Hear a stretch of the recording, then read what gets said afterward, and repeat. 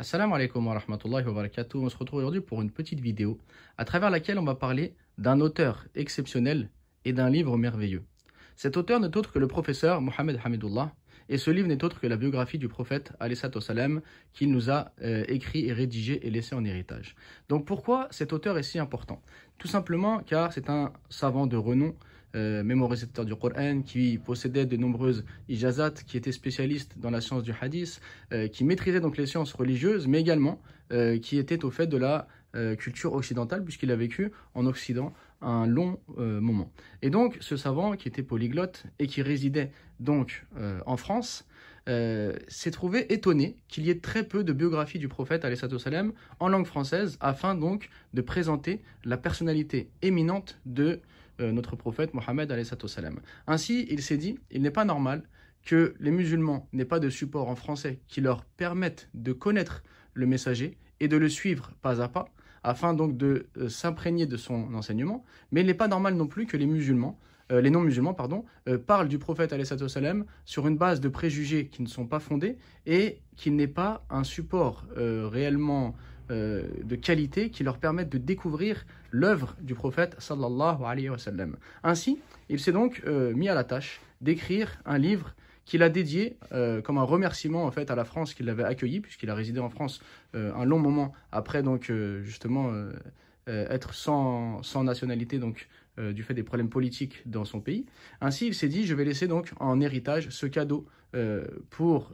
la France et les Français, la biographie du dernier des prophètes, du dernier des messagers, de l'homme qui est venu clôturer le message d'Allah, afin que les musulmans euh, puissent découvrir ces événements dans, le moindre détail, mais que les, et que les non-musulmans puissent découvrir quel est cet homme dont on parle au quotidien, euh, qui a bouleversé donc l'histoire de l'humanité et euh, qui reste jusqu'à maintenant donc euh, méconnu dans les détails de sa vie en Occident. Et c'est donc ce qu'il a fait. Et sa biographie, euh, donc qu'il a rédigée, est assez intéressante et se distingue de beaucoup d'autres. Pourquoi?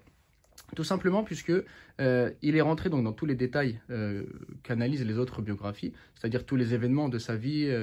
euh, donc du, de sa naissance jusqu'à sa mort, salam. Mais ce qui est très intéressant, c'est qu'à chaque événement, il en a profité pour nous faire tirer des leçons de ce que l'on vit au quotidien, des leçons de ce que notre contexte mondial a besoin à travers donc la, la guidée du prophète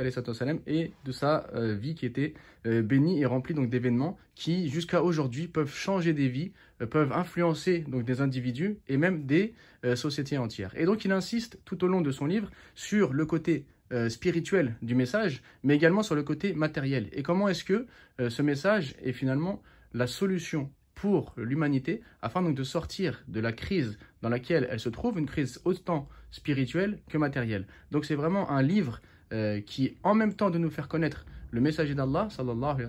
nous permet également euh, d'avoir un exemple parfait à suivre dans les moindres détails de notre vie, euh, les choses qui nous semblent être les moins importants, aux choses donc, qui sont les plus importantes, comme la gestion d'un État ou la façon donc, de régler les conflits internationaux et autres. Donc c'est vraiment un livre d'une richesse incroyable, euh, d'un savant de mérite qui a, vécu donc en France de nombreuses années, donc qui était imprégné par notre contexte et que peu euh, connaissent alors qu'il faut vraiment vraiment euh, faire connaître son nom et ses écrits. Voilà, je vous invite donc à nous suivre sur les différents réseaux sociaux, que ce soit sur Instagram, sur Facebook ou sur Twitter, et de pouvoir commander donc ce livre et d'autres livres sur le site elbayina.fr ou bien à la réouverture du magasin de nous, venir nous rencontrer au 33 avenue du Château 9500 Argenteuil. Assalamu alaikum wa rahmatullahi wa barakatuh.